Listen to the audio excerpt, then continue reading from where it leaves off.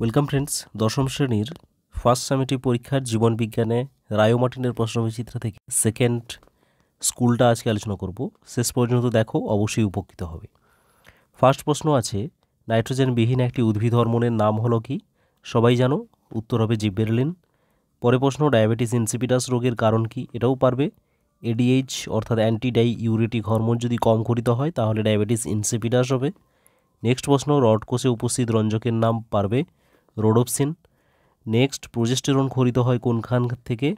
Progesterone খরিত হয় corpus luteum থেকে। ওকে, এর বা, এর আগের যে কন্ডিশনটা, সেটাকে বলা হয় গ্রাফিয়ান ফলিকেল। গ্রাফিয়ান ফলিকেল থেকে ইস্ট্রোজেন খরিত হয়। তারপর, সেন্ট্রোমিয়ার ক্রোমোজোমের শেষ প্রান্তে নিকটে থাকলে, শেষ প্রান্তের নিকটে যদি থাকে, তখন সেটাকে কী বলা হয়? শেষ প্রান্তে থাকলে তাকে বলা হয় টেলোসেন্ট্রিক, আর শেষ প্রান্তের নিকটে থাকলে তাকে বলা হবে অ্যাক্রোসেন্ট্রিক। অর্থাৎ এরকম যদি ক্রোমোজোমটা হয় তাহলে শেষ প্রান্ত এইটা। তাহলে এখানে থাকলে তাকে বলা হবে টেলোসেন্ট্রিক। আর শেষের কাছাকাছি মানে এই রকম জায়গাতে থাকলে তাকে বলা হবে অ্যাক্রোসেন্ট্রিক।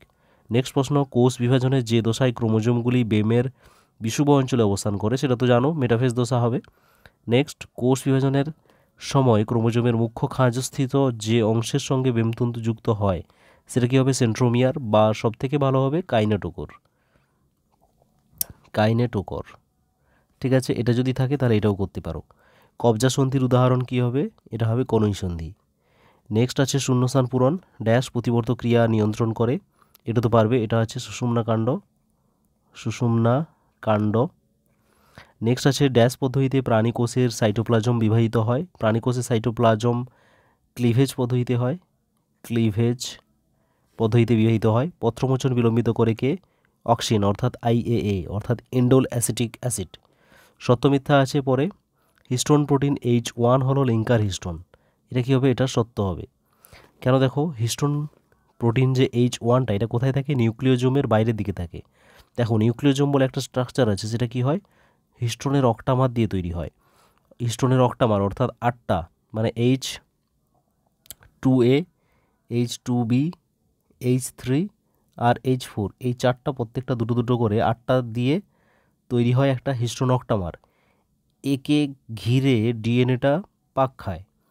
তারপরে এখানেও আবার একটা হিস্টোন অক্টামার আছে, এখানেও একটা পাক খাবে ডিএনএ। এক পূর্ণ তিনের চার পাক খায়, ওকে? তো এই বাইরের দিকে এই ডিএনএটা যেখান থেকে বেরিয়ে যাচ্ছে, এটাকে পেঁচিয়ে যে বেরিয়ে যাচ্ছে, তো সেই অংশে কি থাকে? এইচ ওয়ান হিস্টোন প্রোটিন থাকে। আর বাকি কেন্দ্রে এগুলো থাকে, H two A two B, H three R H four. ঠিক আছে? আর তাহলে এটাকে বলা হচ্ছে লিঙ্কার হিস্টোন। নেক্সট প্রশ্ন আছে, পরপর দুটি নিউরনের সংযোগস্থলকে বলা হয় সাইনোভিয়াল গহর এটা কী হবে? মিথ্যা হবে। এটা কি বলা হয়? সাইন্যাপস বলা হয়। মাইটোসিস কোষ বিভাজনের ফলে গ্যামেট উৎপন্ন হয়, এটাও মিথ্যা হবে। মাইটোসিস হবে না মিওসিসের ফলে উৎপন্ন হয় গ্যামেট। তারপর আছে স্তম্ভের সঙ্গে বিস্তম্ভ। অনাল গ্রন্থি কি হবে? অনাল গ্রন্থি হচ্ছে অ্যাড্রিনাল গ্রন্থি হবে। ঠিক আছে? এটা হচ্ছে হরমোন খরিত হয়, এগুলো হচ্ছে সব অনাল গ্রন্থি। ক্ষণপদের সাহায্যে গমন করে অ্যামিবা, জানো সবাই? আর জি ওয়ান দশাতে কী হয়? প্রোটিন সংশ্লেষ হয়। পরে প্রশ্ন, ডিএনএর গঠনগত এককটির নাম কি? এটা কি হবে? নিউক্লিওটাইড। নিউক্লিওটাইড। ঠিক আছে। তারপর হচ্ছে বি সদৃশ্য লেখো টিএসএইচ এসিটিএইচ এডিএইচ আর জিটিএইচ এখান থেকে আলাদা কী হবে? এডিএইচ এটা হচ্ছে পশ্চাৎ পিটুইটারি থেকে খরিত হয়, বাকিগুলো অগ্র পিটুইটারি থেকে খরিত হয়। ওকে?